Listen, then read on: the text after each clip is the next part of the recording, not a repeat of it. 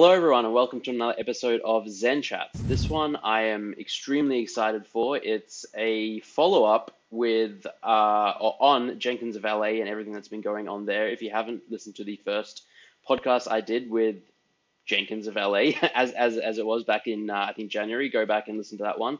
Um, but I'm pleased to be here with Safa and Valet Jones, two co-founders of Tally Labs, the entity uh, under which Jenkins the Valet falls, among many other exciting things. And we're going to get into all of that. Um, but first of all, welcome, gentlemen. How are you both?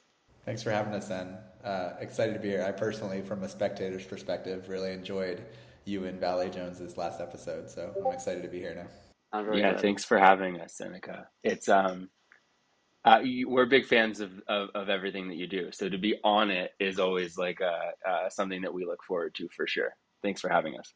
No, I appreciate that. The feeling is very, very mutual. I've been, uh, I'm into day one, and I've held a bunch, and I've bought a bunch more, and I've like been following uh, as much as I can. Be you have a lot going on, and I think that everyone in the space that's in the space for a while gets involved with a bunch of projects, and it's like it, it can be difficult to keep up um, with all the moving pieces uh, at times. So, uh, but I've been trying to keep on top of it, and that's why I'm so excited to learn more from the horse's mouth, as as it were. Um, maybe uh, again, like if you haven't listened to the first episode, I recommend everyone going back and doing that. But like a quick refresher, I think if you could both uh, give me like a quick background on on how you got into the NFT space and came into like Jenkins the Valet and Tally Labs, maybe like the, the origin story of how that was born, how the two of you met even and, and started working together. For sure. Um, I'll keep it brief. Uh, we've we've told this this story. At, I'm sure, but it's it's like one of our favorite ones. So. Uh, VJ and I grew up together.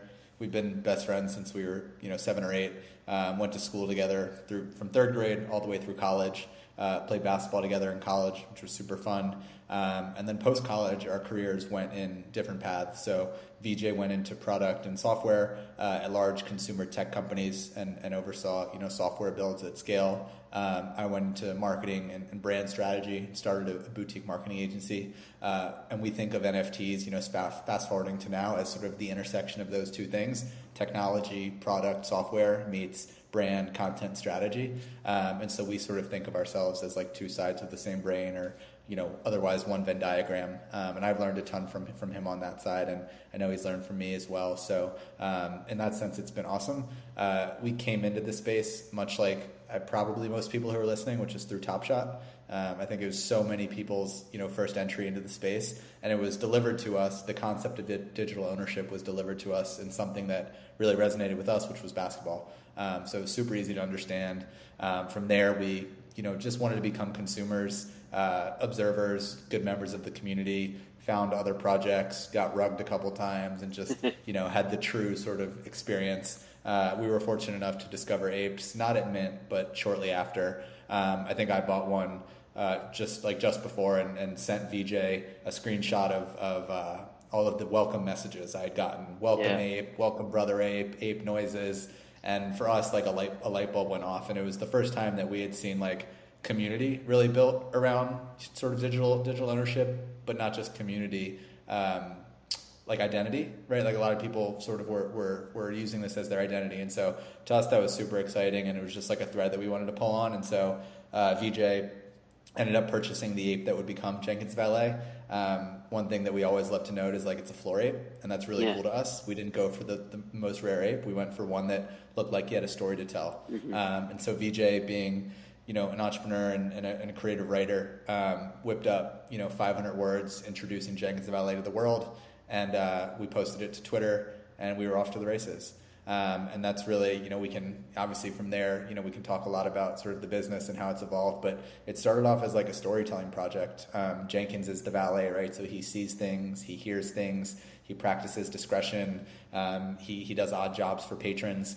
Um, and largely, you know, for the first month or two, we were just telling stories about other apes that we met and helping other people like add depth to their characters in the way that we have. Um, and I won't spoil it too much, but if you fast forward to now and what we're doing with Azurbala, that is like still at the core of what we do. Is is we want to give people the platform to to turn you know their IP into into characters, and so um, that was that was sort of how we how we entered the space, and then from there the writers' room was born, and you know, obviously we, we decided to turn it into a business. But uh, yeah, it was just two friends wanting to like embark on a creative endeavor um, and wanting to you know pull on the thread of like IP ownership and and creative you know storytelling in Web three.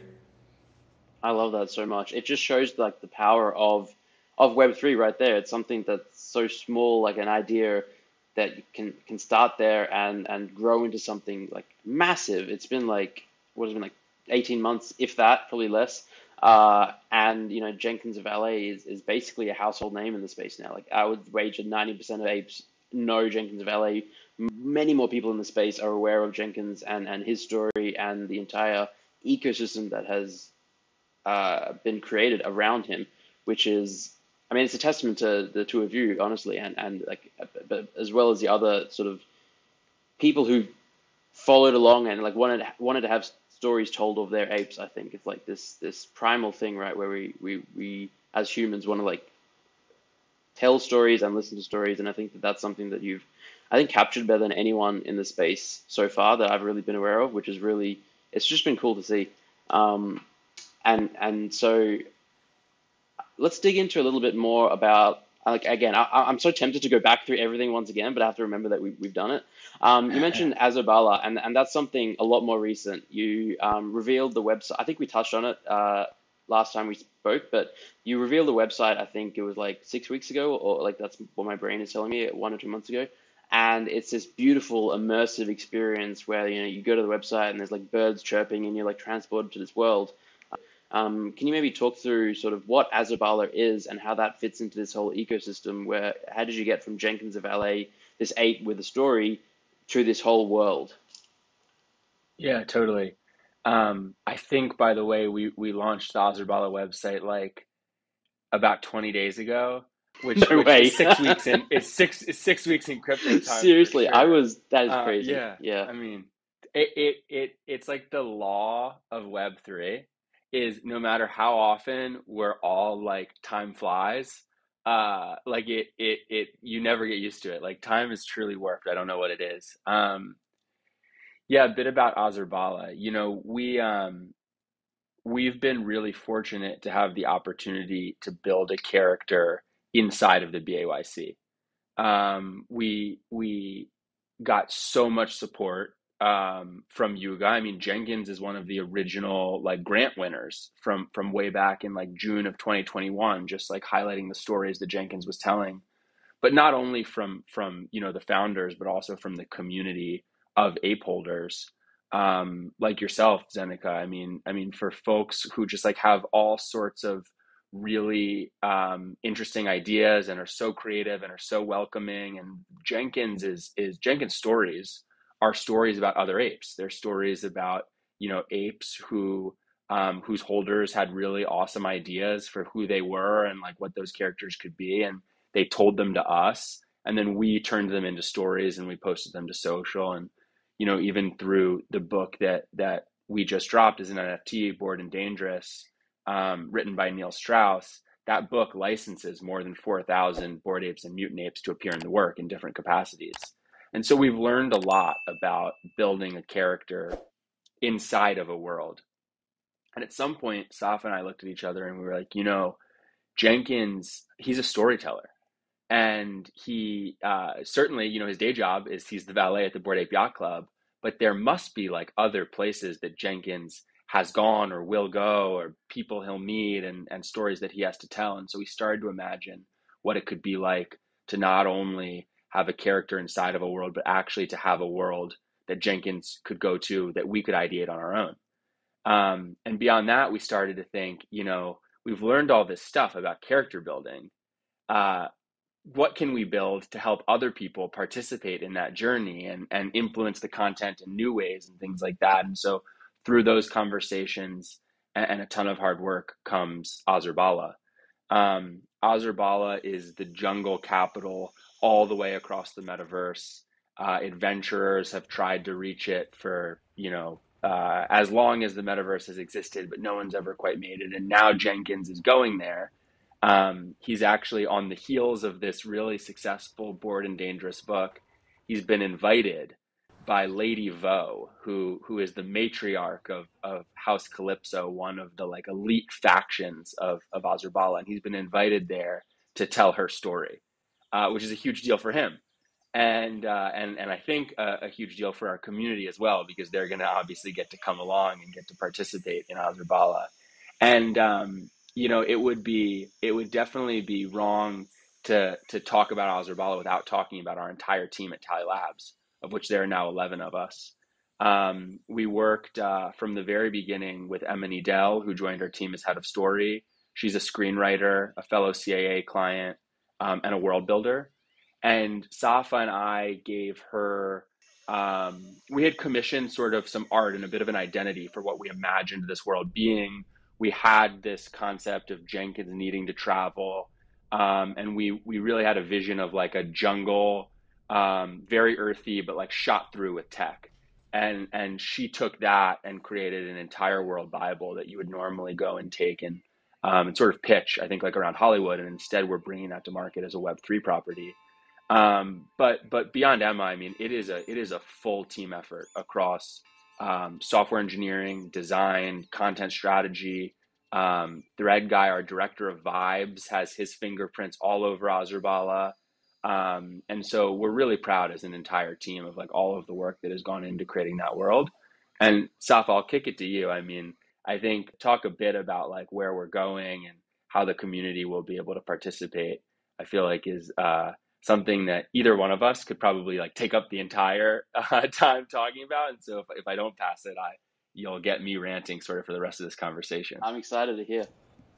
Yeah, I mean, when we were thinking, and, and VJ, like jump right back in for sure. When we were thinking about um, like what separates us as a company, um, we think that uh, well, number one, like we're we're the guys who we're the team who made Jenkins, right? So we're the team who knows exactly what it's like to build a character inside of someone else's universe, and we thoroughly thoroughly believe that like right now the knock on IP is that oh, it's only for 1% because 99% don't have the time or the resources or the wherewithal to actually do anything with their IP.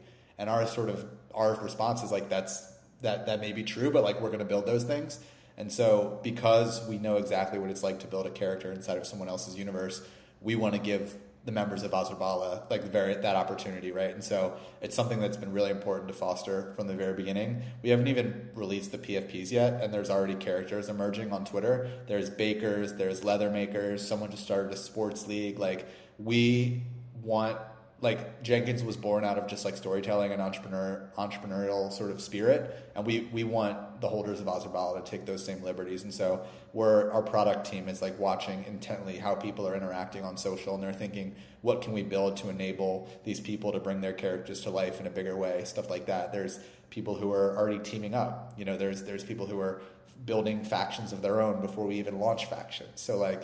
Um, we I think that we combine like story and, and, and technology in like a really interesting way. I think there's there's companies out there who are incredibly advanced technologically. There's companies out there who tell great stories. I think that we sit like really nicely sort of in the middle of that Venn diagram. I think we tell awesome stories and like we enable it with awesome technology. And so that's what we want like our moat to be. We want to we want to we want to tell great stories and we want you to create them with us and experience them in like novel ways. Um, and so that's that's sort of our vision for Azurbala. There's a number of like items on the roadmap that, that I don't, I don't know if we'll sort of divulge here. Um, we sort of think the days of, of roadmaps are I don't want to say over, but like uh, we've been around for a really long time, and so we feel that we have the trust from our community to to, to keep building.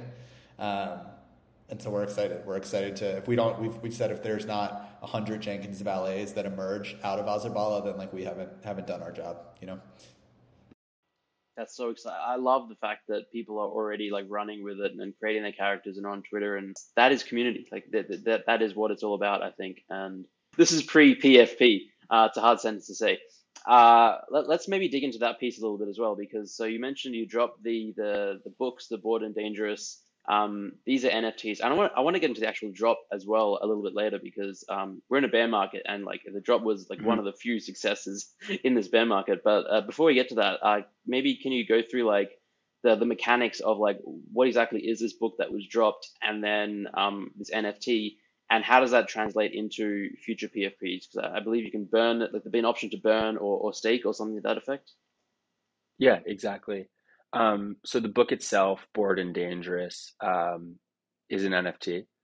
Um, we're also working with our literary agents at CAA to um, secure like a more traditional publishing deal. But uh, it was really important to us that this Web3 work that was created by a group of like 3,000 native Web3 folks, part of the writer's room, um, came to market first as an NFT. So the book was written by 10 um, time New York Times bestseller Neil Strauss.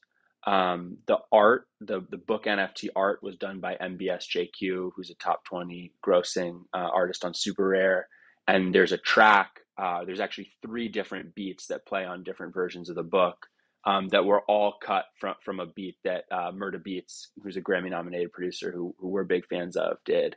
And so the reason that I say that is just because for us, this, um, this book it is a really big deal. It's the first time that a massive group of people have all collaborated from all over the globe to source like creative direction and work together and all of that was sort of gated by um, you know writers room nfts you, you, needed to have a writers room nft to get into the virtual writers room where you could um, you know impact the book and and so attaching like as many amazing artists as possible that could like live up to to the community um, was meant a lot to us and and uh, that book is going to be able to first be read um, on a custom e-reader that um, that we're making ourselves. Um, our head of product, Robes, and our head of engineering, um, OP, have been working really hard to bring that to life, and so that'll that'll come soon.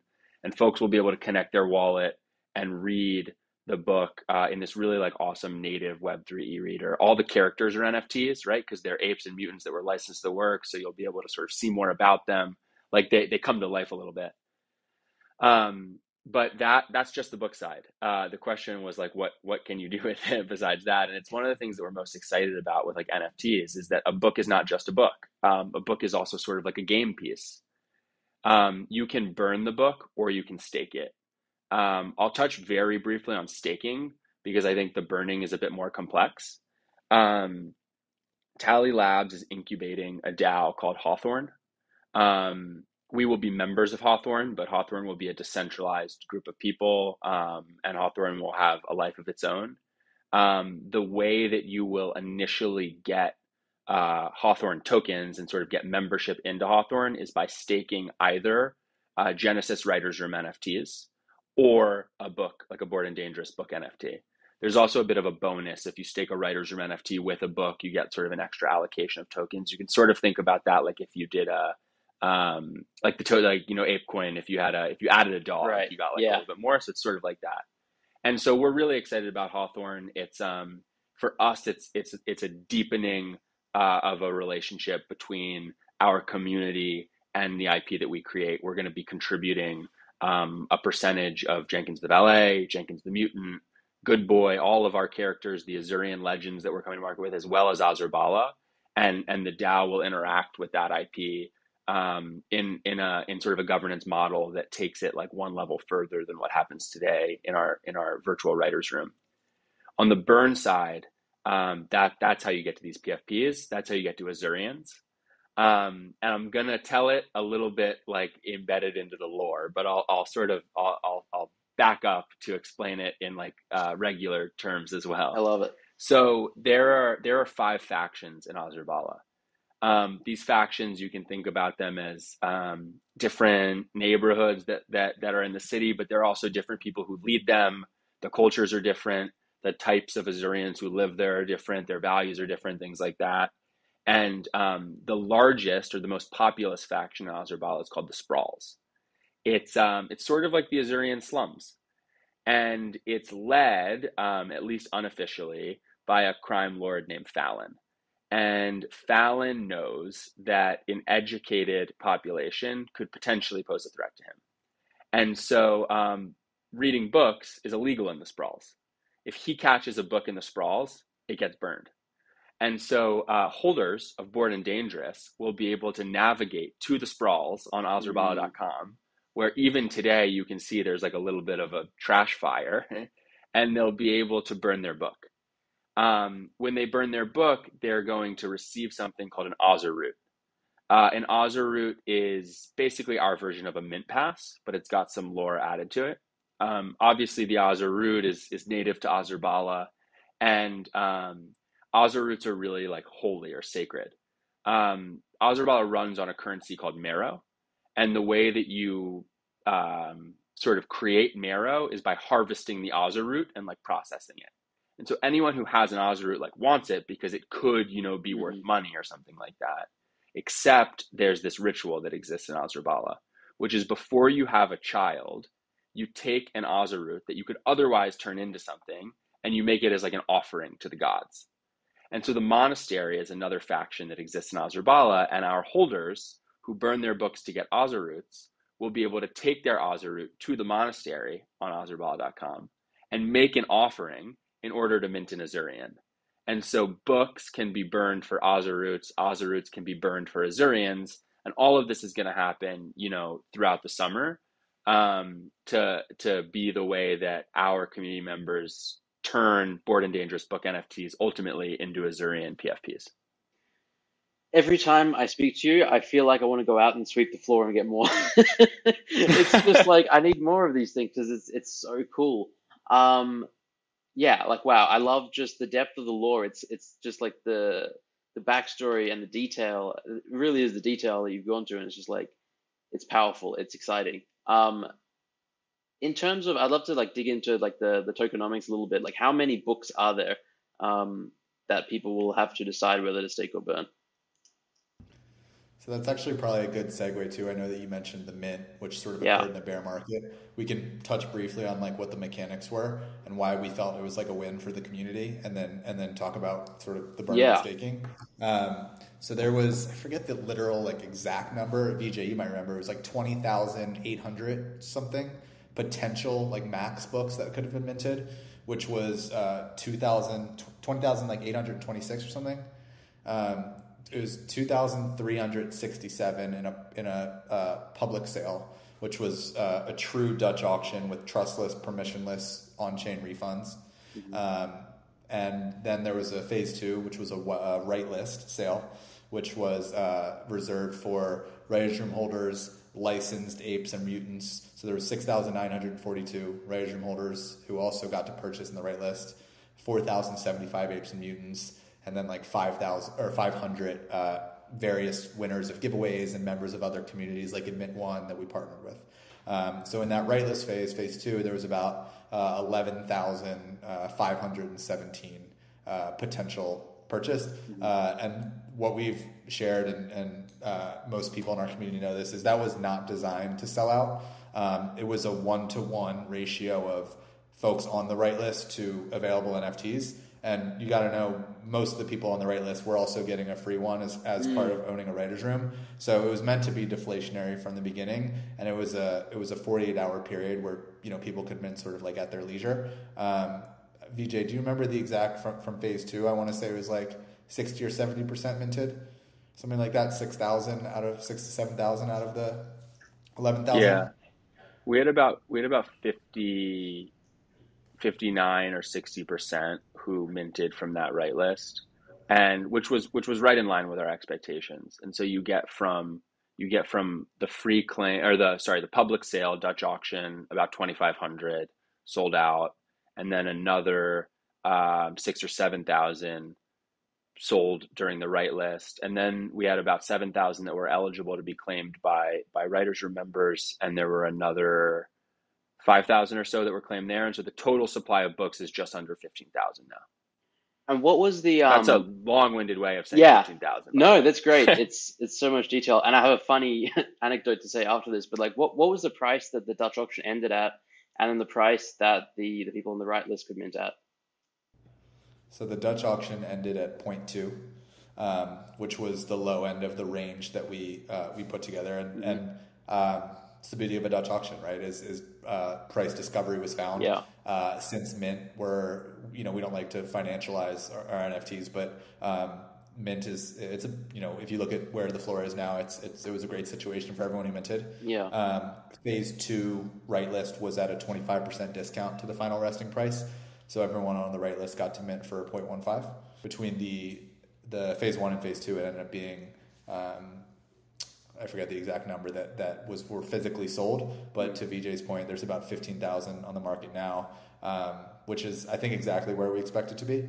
And then uh, it's really going to be really interesting to see what the what the breakdown is of like burn versus stake, and then not just burn versus stake, but then once you burn, the breakdown of how folks who hold Ozer roots versus who mint them right away. Yeah. Um, I think we touched on it briefly, but Ozer roots are our mint pass, um, and so we wanted to add some game theory to that, uh, where your Azurian is actually born with a higher attribute, uh, which is, is called backbone. Uh, the longer you hold your root. So there's Oh, even wow. game theory on the burn side. Uh, and, and backbone is, is sort of the, the rate and the efficiency at which your Azurian harvests marrow, which is the, the sort of native uh, currency that powers all of Azurbala. And it's what the factions are dueling over, and it's really what the city runs on. Um, so the longer you hold your Azer root, the more backbone your Azurian is, is then born with, you know, and blessed from the gods with, uh, which, you know, you would presume is, is, an, ad- is an advantageous sort of thing to happen. And so, um, I think there's going to be some fun game theory there, right? It's do folks mint right away and potentially have one of the few Azurians on the market? Do they hold out, you know, in hopes of, uh, not in hopes of, but to, to guarantee that they, they have a stronger Azurian? So it's going to be, it's going to be really fun. Yeah, that I love projects that have like those interesting game theory mechanics that make you think and make decisions, and and that that you can um, feel like you have you you actually do have an impact on the outcome of of your NFT. Uh, the anecdote I was going to get to is uh, so I've again like when you're in a lot of projects, it's, it's hard to stay on top of them all. I obviously heard about Azurbala and the mint and stuff, and I, I missed the Dutch auction and like that that happened. And then I went to the website uh, like a day or two later, and I, I logged in my wallet that had the, and it's like, oh, I can mint some 0.15. Great. I mean, let me, I max minted, went on my business, and then like, however long later, like two or three days later, someone in my Zen Academy Discord like messaged me and said, hey, you, you have about six hours left. You can claim these things for free. And I was like, what, really? so I like, I didn't know that I could free claim. I just, I minted at the 0.15. I was like, okay, great. Um, and yeah, and then so I, I did it backwards. Thankfully, uh, I got in and, and I, yeah, I have like, I don't know, 10, 15 now. Um, Yeah. yeah, it, yeah, it, it's, it's just, yeah, it's, it's hard to stay on top of everything, but it's also, I think that like the, the system that you designed is obviously like it, it worked. And, um, you know, it, like anyone who minted or like anyone who participated is in a position now where they're like, they've benefited, um, and had that price discovery. Were, Yeah. were you like afraid at all given the, the bear market ness that we're in that like for instance was there a fear that the the dutch auction would not sell out and that would like catapult into bad things or like people wouldn't mint the right list or were you pretty confident given your your community I think, you know, anytime you have a drop, you play through every scenario. I, I, I do want to say though, like we we're really confident in like the product we're bringing to market. And so um as you know, as confident as you can be in something that you're like really passionate about, we felt that the mint was the way we we wanted it to be. And so really like whatever happened from there, we felt like we had done the work and we had put together like a mint process that we would have been proud of. I think there there's um there's like a really important shout out that needs to go out to uh, Thread Guy, our director of vibes, who who put a ton of work into um, like thinking through the mint and the phases and the Mm. cadence and all of that. And as a team, we have like a series of of you know like principles that we believe in, and the number one is uh, deliver value back to your existing community. Like if we deliver value back to the writers' room, um, and now if we deliver value back to the writers' room and to Bored and dangerous holders, and you know ultimately to Azurians as well, like that's the and, and value you know is is a is a broad thing and, and comes in you know a lot of different forms, but like that that's our that's our community, and so we designed the mint to focus first and foremost on delivering value back to the existing community, and then how can we make this something that like other people can can come join? Because i mean we think that we're doing something special and we want to invite you know more people in who who may not you know be able to buy a writers room nft on the secondary for more than like an eth or something like that. Um knowing that we had designed something that we felt did that there's not much more you can ask for right Yeah. like like we went into the mint day saying like this was set up in a way that like we're proud of and and we think does that um and ultimately i think we found that that was true we we knew that the Dutch auction, the total amount for sale in the public sale, which was 2,367 was like was small. Yeah. You know, like it's it's not like the biggest number that that certainly comes to market, and so we felt that um, we believed that would sell out, um, and it did. Uh, we always had a plan to launch the right list a couple hours after the Dutch auction sold out. So like Mhm. if it if it's sad, it's sad, and the, Yeah. the the right list would have opened up, you know, like whenever it did. Um, we felt that 48 hours and a and a 25% discount was sort of the right thing to do on the right list. And and for us, there's so much game theory. You've got you've got burn and stake, and then you know what Safa was saying. You've got more game theory on Azurroots versus Azurians that we couldn't do more than one free book NFT per writers room token because like supply would have been weird. Right. But but letting folks come on to the right list, like the way that you described your experience, Anika, to to be able to claim and yours was an accident. but, but some Yeah. people To, some people buy are, and, you know, and get a free one. about it. Yeah. Yeah. To, to to buy at a discount to the public sale and claim a free was like exactly the opportunity we wanted to give the existing community. Yeah, and just like on the on that note, um, it's it's generally like in today's climate with like today's technological restraints, you sort of have to choose between like a really hyped up, just all out gas war, or like a sort of smooth experience for commu- your community that maybe isn't as like a five second sellout. And I think uh, we're really happy with how it went. We kept money in our community's pockets as opposed to going to you know gas fees, which is just like a win. I think people were people were claiming for like ninety cents. Um, obviously, a lot of that is like you know gas is not what it was you know, six months ago, weight, but, but yeah. still like it's a win. And Fubar wrote a phenomenal contract. Um, one other thing that's that's really cool to us is like we we um, prior to leading up to the mint, we we didn't like get very much FUD, which is awesome. But the the couple sort of pieces we got were that um, we were we were giving giving most of the assets and or allowing most of the assets to be purchased by existing holders as opposed to letting like new folks in and that we were um, you know people were just going to have an excess. Fast forward to now you know on a 15000 nft collection there's 200 listed. Yeah. and so we knew from the very beginning that like writers room holders like just believe in it and like want to be here. And so uh, like it's it's playing out hope exactly how we, we had hoped because we just we know our community and we've like been ground level with them listening to them for the past like 15 months Yeah, no, that's awesome. It's just like a, a true success story um, through and through since day one, and then just like again through the bear market, like there haven't been too many mints or collections that have sort of been success stories. Even established projects have, have struggled with with subsequent mints and things like that. So it's it's always good to see when one does well. What's next? Like obviously you have a whole world planned. You've got Azurbala, you have the the the uh, burn versus stake decision, and then the, the next burn decision, and like all this kind of stuff. Um, but like, let's go like a year out after maybe the game theory has played out a bit. What, what does the world look like then, and, and how do you sort of see the community interacting, perhaps with the DAO and the involvement there? Awesome question. Something we we you know spend a lot of time working on internally. Um, I'll give you like a snippet uh, of of you know what things could look like in in a year, and and Safa, you should you know build on top of it or talk about some of the other directions of things that will exist. But um, Tally, Tally Labs is a is a Web three media company like that's enabled by software, and so everything that we do like has those components. Um, in a year, the story of Azurbala will um, have changed. It will have matured. Things will have happened. We have a ton of story to tell, and a lot of it depends on decisions that our community members make with their Azurians. I mean, Azurians will be characters from the minute that you mint them. You'll be able to fill out character backstories. You'll be able to license them to our podcast experience. You um, you will be able to respond to prompts and quizzes and uh, have open-ended things that exist on social for how to build out the bakers and and the leather technicians and all of the other characters that come out.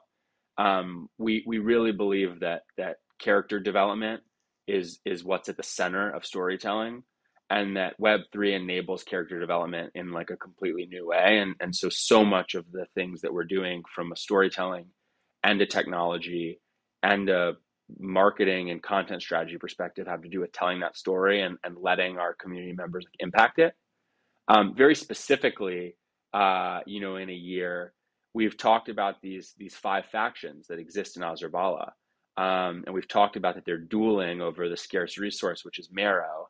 Um, Azurians are going to have to uh, join factions, and they're going to have to to to work together in this in this sort of fight to um, control Azurbala with marrow, harvest it themselves, and all sorts of things like that. And so you can imagine the types of things that come out of that, not only content, but Web3 gamified experiences and things like that. Um, and, and we're really fortunate to work with Board Ape Wood, who joined our team recently as, as director of Web3 strategy, who I think that there's like not a token that that guy doesn't own. Like he, he you know, he's seen it all. And so we're, yeah. every day we learn something new from him and, and, and it's been, it's been really fun. Um, what else, Safa? Yeah, I mean, one thing that's that's not a year out, that's like a lot sooner, but but we didn't touch on is is the Jenkins audio experience, which is a really fun one. Um, we've posted a little bit about it, but we're working with an incredible um, fiction audio company called Salt, um, who's made a number of like hit fiction podcasts that have then been adapted to film and TV. Um, and so, you know, you can think of sort of Azurbala as like a property. You can think of Jenkins as a property. In some cases, they're interwoven, right? In the fact that like Jenkins will discover Azurbala, but Azurbala will remain right long after Jenkins leaves. Um, and so something will happen in Jenkins' life that causes him to have to go on a journey throughout the metaverse. Um, and so, you know, we're viewing this sort of IP as like a horizontal move across the space. So Jenkins is going to be visiting six different communities um, every single character that he meets along the way is going to be owned by a member of the writers' room or a partner of someone who owns the writers' room NFT and owns one of those eligible avatars. So each episode will be set in a different community. Uh, we're working, you know, at the project level with a number of communities to bring these worlds to life um, in a really sort of high production, like audio way. Um, and the thought behind audio is that there's a lot of folks who are trying to do animation, um, like more power to them. But audio is like faster, cheaper, and it's just so good now that like you can build the IP in a meaningful way, prove it out, and then potentially like leapfrog some of those folks and, and go right into animation. So we're excited about that. Um, we think you know Jenkins as like a storyteller can evolve in like a number of mediums. Uh, we're already thinking about you know what the next works will look like you know post post book one.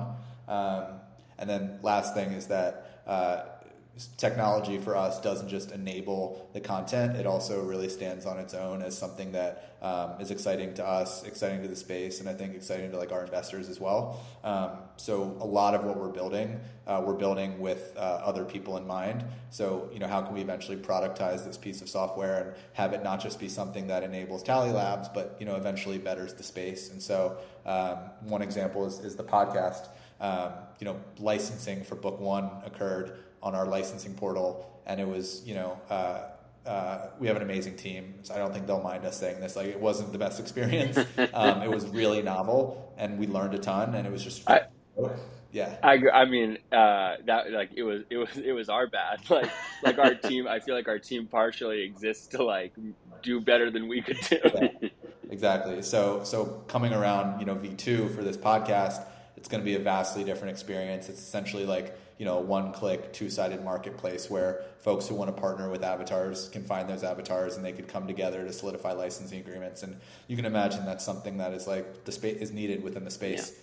Um, but our thought is like let's bring it to market where we're the content creator. Um, and we're sort of controlling, you know, what one side of it looks like, and we're making sure that there's both supply and demand. Um, but yeah, I would say we're equally excited about you know what these what this technology stack that we're building you know can be for for the Web three space.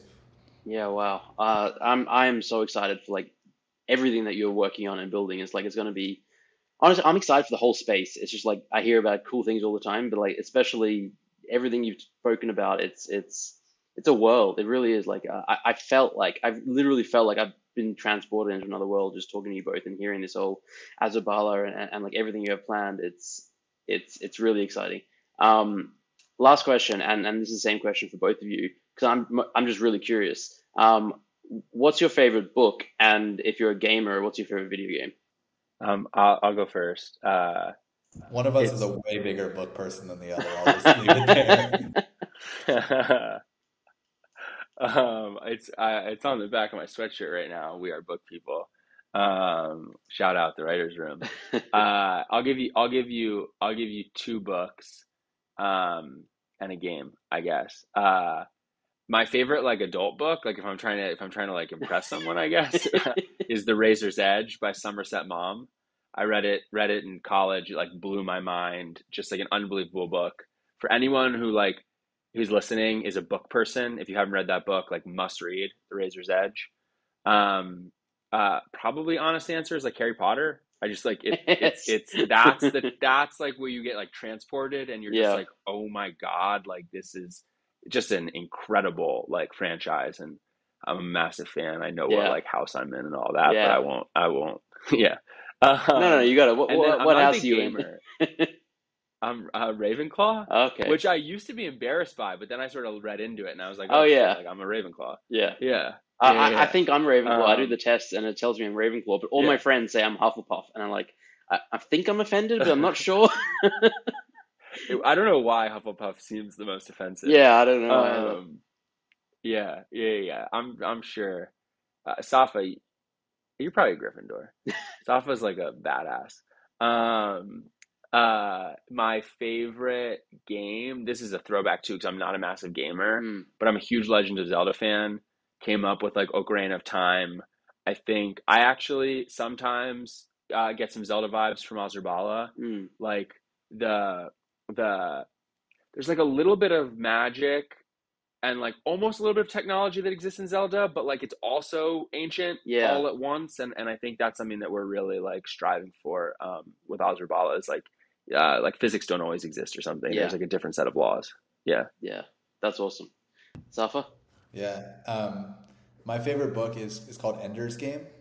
Um, uh, you read it, then? Yeah, so I, I've read. Uh, so this book, I, I was reading it. I was talking to my friend Jamie about it, and like so and so and so on. And then he just straight up spoiled the ending for me one day because he was like, obviously, hey, I think he just assumed that everyone knows the ending, and and I was like, no, I did not know. Um. Anyway, carry on. That's horrible because it's like an Yes. iconic ending. I, Exactly. like I was floored.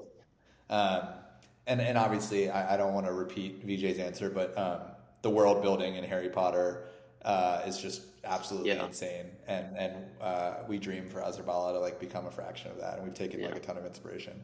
Um, and then my favorite game. Admittedly, I'm also not at this moment in time a massive gamer. I played a, like a, a obscene amount of Fortnite during like the, the come up like 2017 2018 Yeah. and I've never had like a better experience gaming. Like I just felt like what Fortnite did for the gaming space like they really pioneered the, the free to play Mhm. upgrade with skins you know movement. Um, and it was just like there was nothing high fidelity about it. It was just it was just cartoons. Yeah. it was in my opinion like the first great battle royale. So i just think it did a ton for the space. It, it blew up twitch in a way that twitch like wasn't you know prior to fortnite. Um, so that was like those were the glory days for me like gaming wise so Yeah. probably fortnite and then pokemon i played a ton of ton of pokemon Yeah. early on we've even there's even some like pokemon inspo that we're trying to take with with azurians so That's awesome. I would love to just keep talking about games and and other side and like you like there's so much we can get into. Uh, Zen, what, what what's what what's your favorite booking game? I feel like you probably Oh. ask people all the time, but but but the audience may not know yours. So I'm like you and you you gave two books. I want to give like five, but um I I for yeah the three body problem. It's this sci-fi trilogy. Um, yeah. It's incredible. The second book is probably my favorite, The Dark Forest. It's it's it transports you to another world as well, and of course Harry Potter. I've, I've also got to say Harry Potter. I, I I grew up on it, and you know we watch the videos. My partner and I, the movies, like once a year. We'll go through them all and watch them again. Um, and uh, I was going to give like an adult book answer, but I think that's good enough. And for video games, um, again, very similar to you, as like I don't play too many new games and stuff. But growing up, Final Fantasy VII was like that was my game, and that I sunk hundreds of hours into it, and like was obsessed over it. I was at school and I was like thinking about what materia setup I want, and like it was just like I just couldn't stop Yeah. obsessing over it. Yeah, they just did Stop. a remake a couple two years ago I know, right? I haven't had a chance to play it. remake. there's NFTs coming out. Square Enix is releasing Final Fantasy VII Whoa. NFTs in uh, late 2023, so we got a while. Yeah, Crazy. yeah, Soph and I used to post up in my basement and watch my older brother play Final Fantasy. that's awesome. Yeah, That just like is a throwback for me. Yeah, so many good vibes. Um, all right, this has been a true pleasure. Um, we got to do it again sometime. Like I'm sure we will.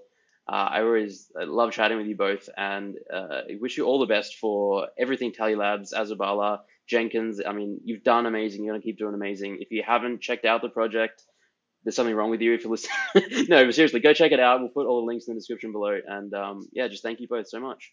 Thank you. Thanks, Dan. Appreciate it.